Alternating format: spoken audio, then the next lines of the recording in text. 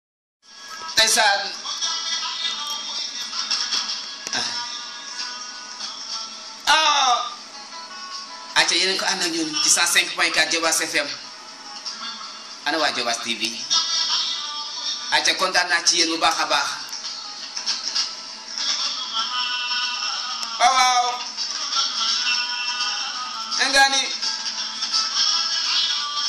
acca ma ne ko ñoo ngay waajal li nga xam ne mooy 31 décembre ngeen mën ko ànd ak ñun ci 105 point 4 ak ci li nga xam ne mooy Jobaas TV en direct nag da ngeen koy am na yéen ñi nga xam ne yéen a koy suivre ci YouTube bi ci sa Jobaas TV wala nga dem ci Facebook Jobaas TV officiel ngeen am événement bi en direct 31 décembre la fii ci gi nga xam ne mooy euh, rajo Jobaas FM 105 point 4 dara du ba dara du seddam ah, lépp la ñuy joxe ah ñu fête première bébé euh, ci li nga xam ne mooy arrondissement bi fii ci li nga xam ne mooy 105 point 4 ànd ceeg équipe bu Jobaas FM ak Jobaas TV yëpp acca ñu fête ko ànd ceeg suñuy autorité suñuy invité nee naa leen daal ren daal day ala daw mi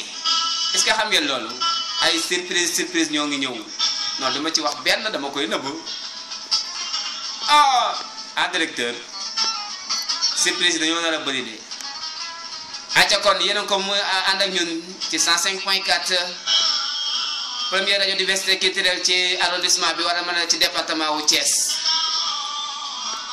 ak Jobas TV ñoom ñëpp ngeen ànd seeg ñun ah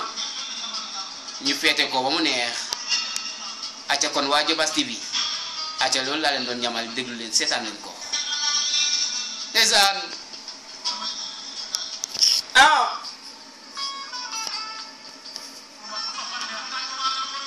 ndeysaan dëng dëng waaw waaw les amis de Bass FM ñoom it ay invité la ñu maa leen ciy bëggee bu baax a baax waaye Sidi Diop loo wax nga wax ko lan ndeysaan loo koy wax